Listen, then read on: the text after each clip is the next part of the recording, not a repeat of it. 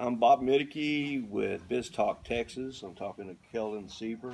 Uh, you build custom cars, and uh, maybe you could tell me something a little bit about it.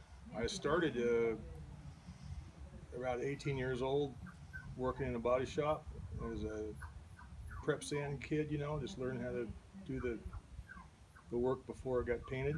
Right. And uh, in a very short time, they had me painting cars, and uh, I really liked that kind of work, and I stuck with it uh, for well, it's been over 30 years now, Wow. and I've always uh, always really enjoyed it. I never really lost interest in it, and uh, I always uh, you know take a challenge on, like a a challenge kind of drives me, you know. So then uh, sooner or later, I just ended up I started working on hot rods and restoration type work, and that's been my love. That's what I've Right. done for since the early '90s. I've been pretty much doing that type of work. Right. Yeah. Was there any project that you've done that you know might have a story about and how you know how good it, how easy it was, or how hard it Uh, was? Usually, it's all the secrets when you start digging into it that you find out the problems. Like a lot of times, people are pretty good at other shops, you know, about making something look fairly decent, but then it's hard to tell when you start on a project what's underneath it, you know, and that's the that's the difficult part. Typically, you have to strip it down completely to bare metal, and there's uh, usually, most commonly, rust issues that have been hidden and uh, problems that need resolved.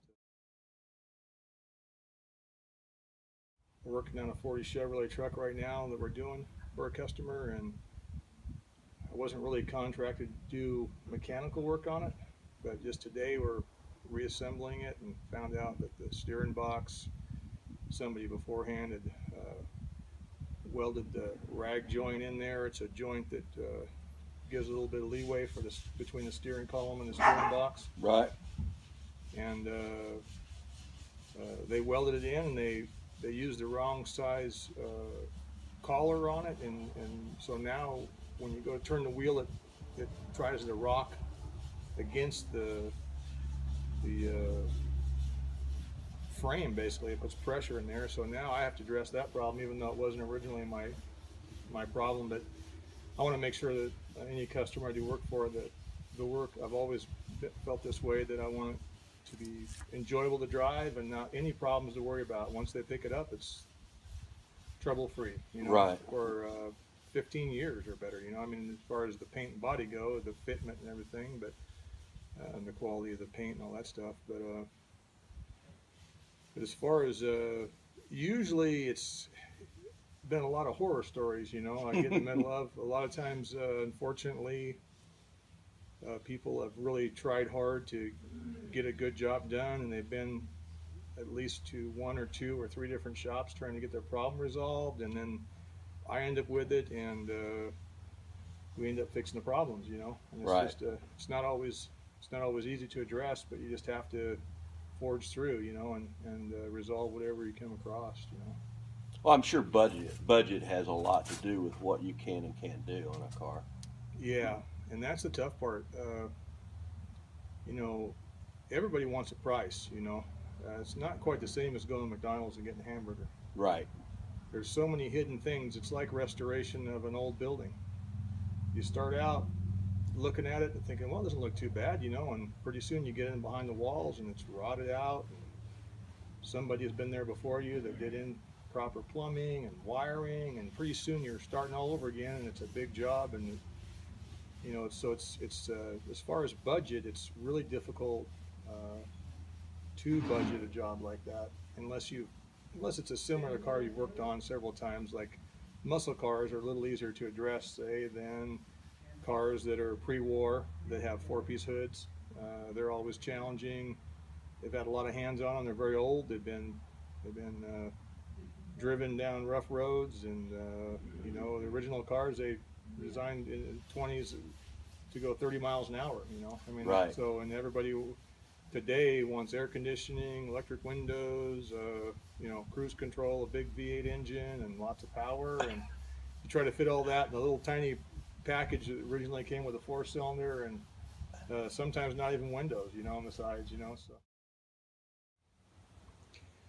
Well, we're currently working on a, a 1962 S3 Bentley, and it's not a restoration; it's a repaint.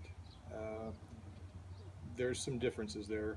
Uh, so, in a repaint situation, I just address what I find that's really in poor shape, and uh, unfortunately, uh, all four wheel wells had to be uh, cut open, welded. Uh, again, the car came in, it was shiny and painted, but it just wasn't, the customer wasn't happy with the quality, and neither was I, you know, it was the condition, whoever had worked on it last, you know, it came from Florida, and we're out here in Texas, you know, and so uh, who knows who worked on it, but uh, unfortunately, every time I dig a little farther, a little deeper, uh, find more problems, and uh, four months into it now, which I feel is a, is a short amount of time for the work we've done on it. Um, it's ready for uh, primer just before paint right now. We've got all the issues repaired as far as rust repair, and uh, it's moving ahead real smooth and uh, now. And uh, you know, it, it's always a, it's again, it's uh, when you start on a project, it's the mystery. You, you don't know uh, where it's going to lead you and, and, until you uh, until you're in the middle of it. Right. You know, right. like people refer to it as a can of worms. You know, we just opened up a can of worms. You know, well, somebody's got to fix it. You know, and a lot of people draw short. They don't try. And uh, again, my concern is, you know, in the end, is it's a beautiful, I would say, like a piece of artwork. You know, it should win awards when it goes out to a show if a car's done right.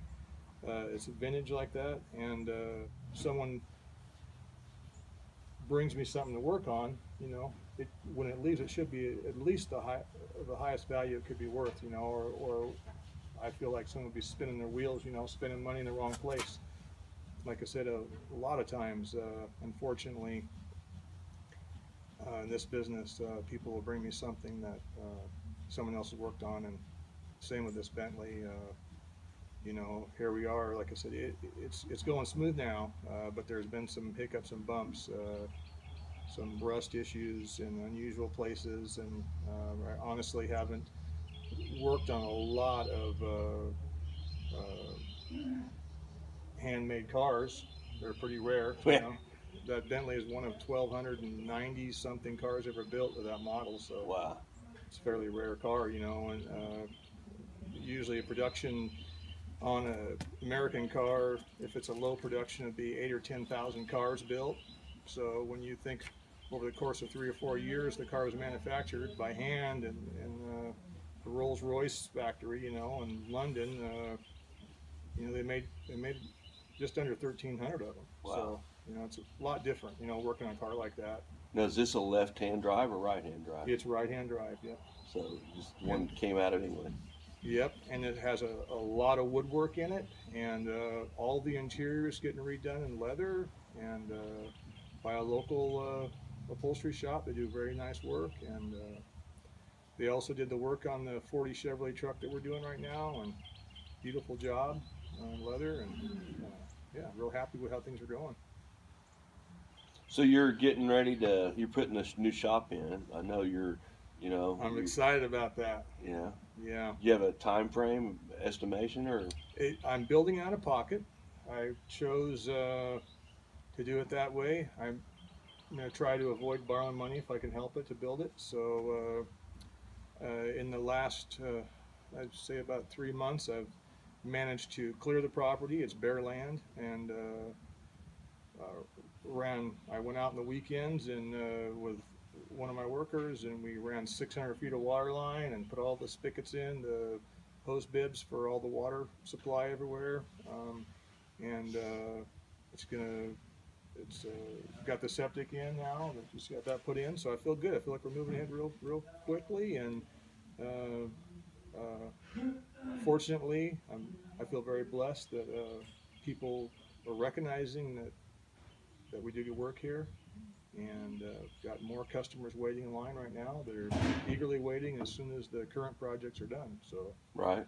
yeah, it's, it's I'm very thankful. I guess the easiest way to say it is is that you know through the years I've always been driven to always do a better job to challenge myself and and that's put me where I am today as far as is doing the restoration and show quality work. Pretty much uh, everything I do, I would say at least ninety-five percent is is strictly a car that someone can drive, but also they can take to a car show and Right. hopefully win awards. Uh, again, I've really tried hard to always have a, a high quality finished product when I'm done, and uh, any way possible to to make sure that it lasts for a long time as well. It's really important to me. I want to feel good about what I've done in the end. I want the customer happy. I want anyone that sees that vehicle to, you know, say, "Hey, where'd you get that done?" You know, and that's uh, important to me. I also want to have a good relationship with anybody in my life. I, you know, trying to. Uh, that's really important to me. Well, I know you have more work to do, and uh, I thought I didn't want to take too much of your time. I really appreciate the conversation. I hope to do it again. And uh, Yeah, me when you get your new shop, maybe we can get out there and show some video and stuff like that. I'm going to take some pictures of your cars out of here while yeah, we're here. that'd here. be great. And uh, I appreciate your time. Thank you, All right. Keldon. Mhm. Thank you.